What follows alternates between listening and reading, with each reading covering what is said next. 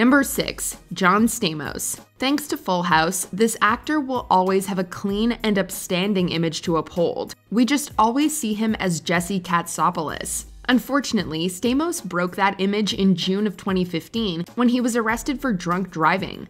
Stamos checked himself into rehab following the incident and was charged with a DUI. He faced up to six months in prison, but was instead given three years probation. He was also ordered to undergo various addiction programs and attend AA meetings.